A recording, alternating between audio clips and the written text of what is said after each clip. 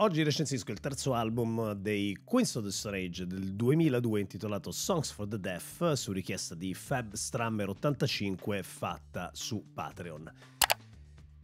Dopo un debutto folgorante che porta il solo nome della band come titolo e la svolta anche nel tipo di composizione del successivo Rated R, la band ideata da Joshua Homme arriva al terzo album circondata da un hype molto alto. In tanti sono consapevoli del fatto che si tratti di un disco da tutti dentro o tutti fuori. Dico ideata perché i Queens of the Stone Age in realtà sono un concept, sono un'installazione, sono un cantiere aperto, non c'è una struttura fissa. Dentro i Queens of the Stone Age confluiscono soltanto artisti che siano compatibili no? con la voglia sperimentale del suo leader, che eh, quello che va a testare dentro le Desert Sessions poi finalizza all'interno di Queens of the Stone Age. Rispetto al primo disco, la formazione qui è rivoluzionata. Infatti, per l'ultima volta appariranno i due collaboratori del debutto, ovvero il batterista Gene Troutman e Brandon McNichol, fenomeno della lap steel guitar.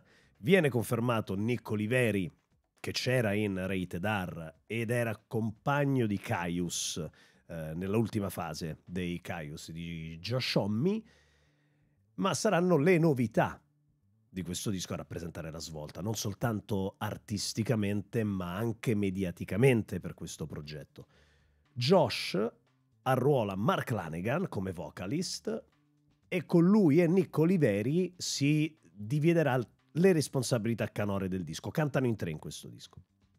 E soprattutto alla batteria farà sedere Dave Grohl, Foo Fighter ex Nirvana, che non soltanto attira stampa buona e hype, ma fa aumentare le quote di investimento della Interscope, l'etichetta di questo Stone Age, sul progetto, che decide, una volta che c'è Dave Grohl, di mettere più soldi sul tavolo produttivo del disco.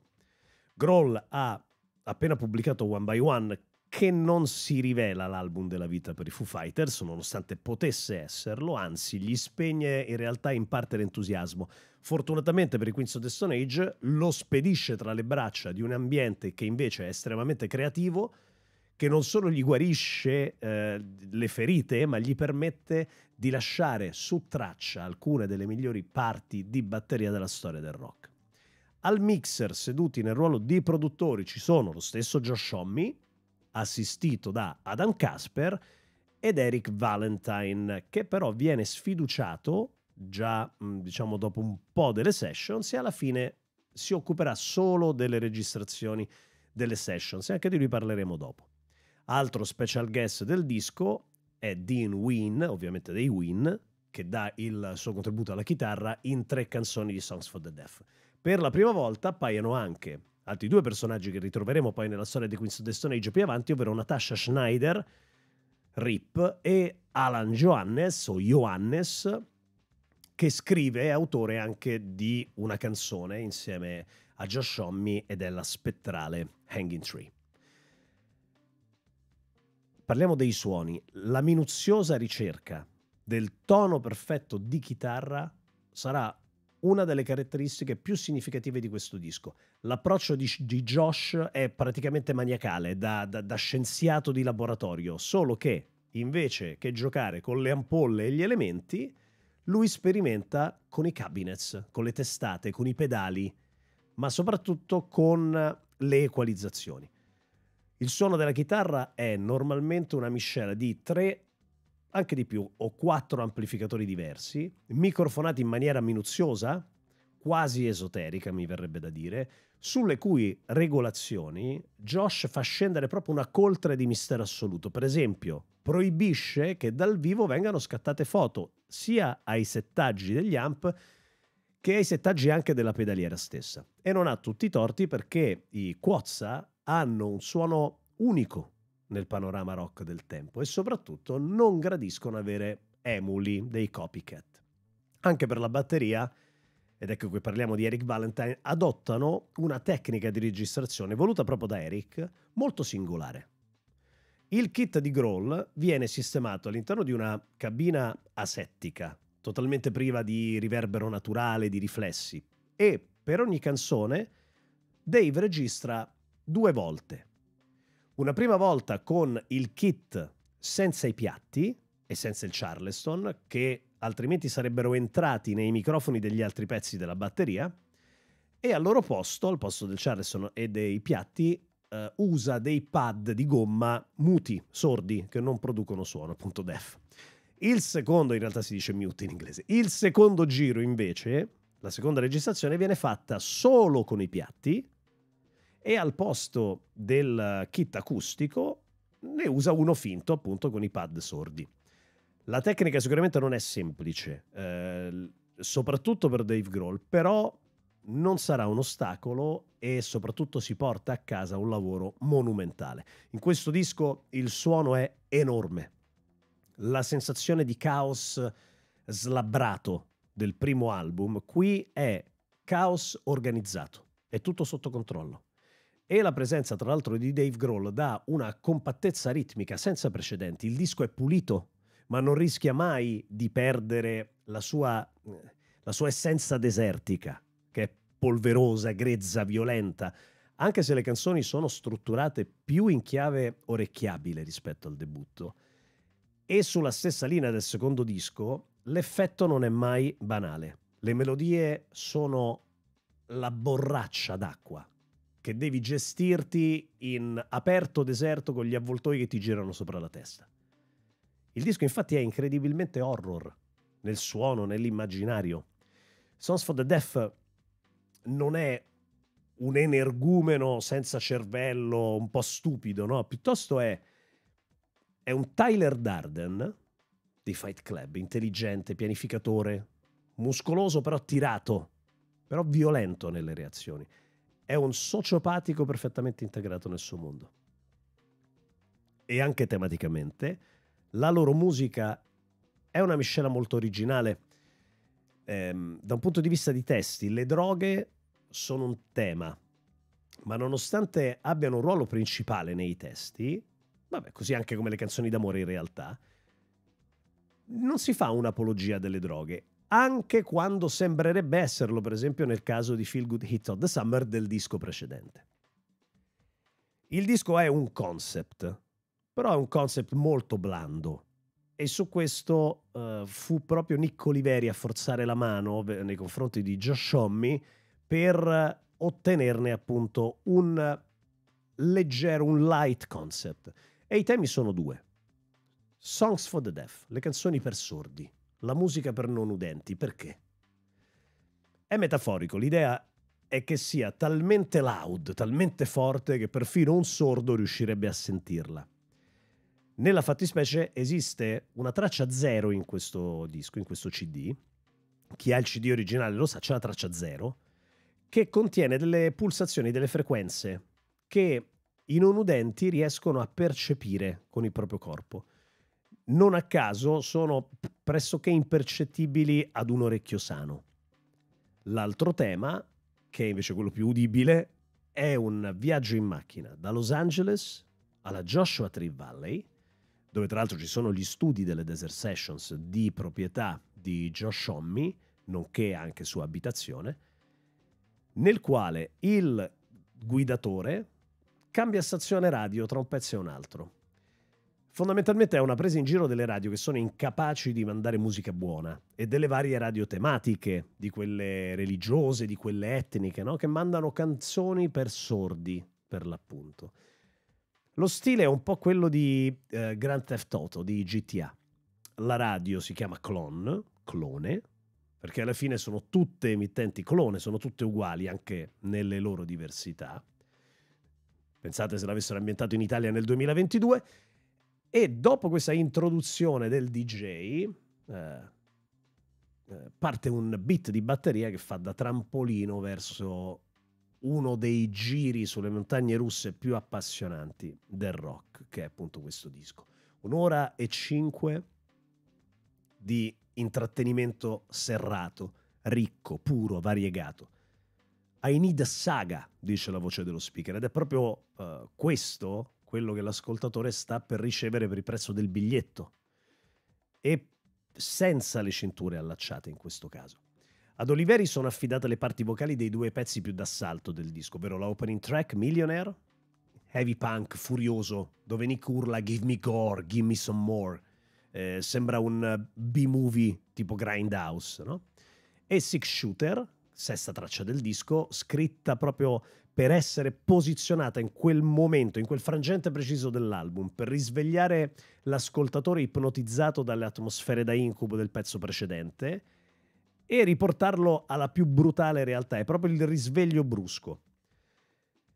Però Nico Oliveri è anche protagonista di due canzoni d'amore andate a male, oppure due canzoni d'amore andato male, come Gonna Leave You e Another Love Song, dove racconta nella fattispecie del disastrato rapporto con la sua prima moglie, secondo lui persona poco stabile mentalmente. Tra l'altro detto da uno che poi verrà licenziato e allontanato per sempre dalla band per aver picchiato sua moglie. Vabbè.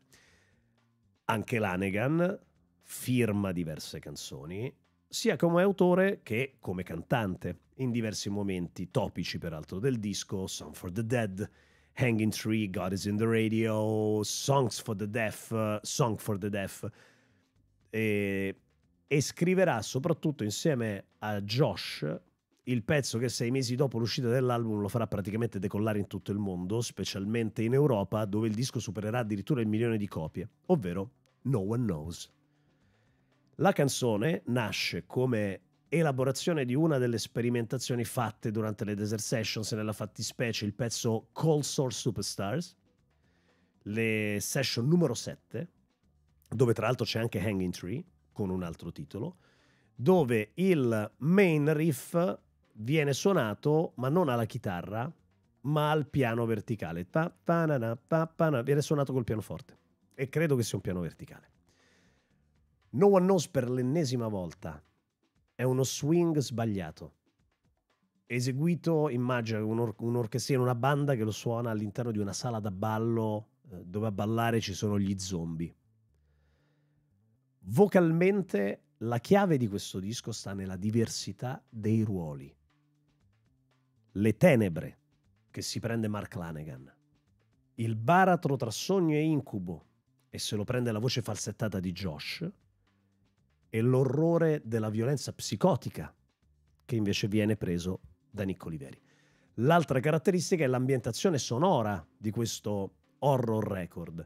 Allora, se immaginiamo un disco come Turn on the Bright Lights degli Interpol oppure Is This It degli Strokes come dischi che non possono che essere ambientati a New York, Sons for the Deaf non potrebbe che essere ambientato nel deserto californiano. È proprio un disco che trasuda eh, deserto californiano. Infatti la band rifiuta l'etichetta di stoner rock che erroneamente gli viene conferita per l'eredità dei Caius e preferisce l'etichetta di desert rock. Senza alcuna soluzione di continuità si passa dallo screaming di Millionaire alle voci sussurrate all'orecchio. Pensate, dalle urla alle voci sussurrate, ci sono queste vocine che si sentono no? vicino alla voce principale di Josh Homme, le voci sussurrate di No One Knows, no? la coscienza e l'incoscienza prima di svegliarsi all'interno dell'incubo ancora una volta. No? First It Give It torna sulla tematica della droga che eh, così come dà altrettanto toglie. Prima dà e poi si porta via. E qui tra l'altro troviamo una delle parti di batteria più stupefacenti di Dave Grohl. Songs for the Dead invece è un groove pazzesco, forsennato, che si trasforma in una sorta di rituale macabro tra stop and go continui, una catarsi sonora della band che viene, resta incastrata dentro il riff. Poi c'è Sky is Falling con la sua marcia tribale il suo riff serrato, il suo suono enorme, gigantesco, sembra uh, uh, preparare uh, a quello che succederà dopo, ti stordisce per poi portarti dove? Praticamente la fialetta di sali che viene rotta sotto il naso della, della povera vittima martorizzata per svegliarla e soprattutto per poterla seviziare da cosciente. E questo è proprio Six Shooter, l'esplosione all'improvviso. Go With The Flow, che si rivelerà uno dei pezzi immortali di questo disco, eh, seguita da uh, Gonna Leave You, che eh, rappresenta nelle stesse parole di Oliveri una... per lui è una cover di Mongoloid dei Divo, perché ha la stessa progressione armonica, lui la scrive con in, mongolo, con in testa Mongoloid dei Divo. Ovviamente ne fa una versione sui generis. Voglio menzionare anche Do It Again e God is in the Radio. La prima aggiunge melodicamente e ritmicamente, molto bella, al concetto di compattezza serrata del disco. La seconda invece è un po' più affascinante perché God is in the Radio ribalta il concetto che il diavolo sia nelle canzoni che vengono passate alla radio, soprattutto canzoni di alcuni generi musicali, molto vicini alle influenze di Queens of the Stone Age. E quindi loro che fanno? Danno uno schiaffo in faccia a tutti i fondamentalisti degli anni 60, 70, anche gli 80 con il PMRC, che eh, demonizzavano la musica, anzi dicevano che la musica fosse il demonio, cercavano i messaggi al contrario, no? tra i solchi dei vinili, ai quali rispondono con un messaggio al contrario nel bridge della canzone, che però è totalmente privo di alcun contenuto scandaloso. Songs for the Deaf è un'ora e cinque di album, ma un'ora e cinque che volano. Finisci esausto, sudato, però dentro di te tu sai che quell'esperienza la vorrai riprovare ancora e ancora e ancora altre volte.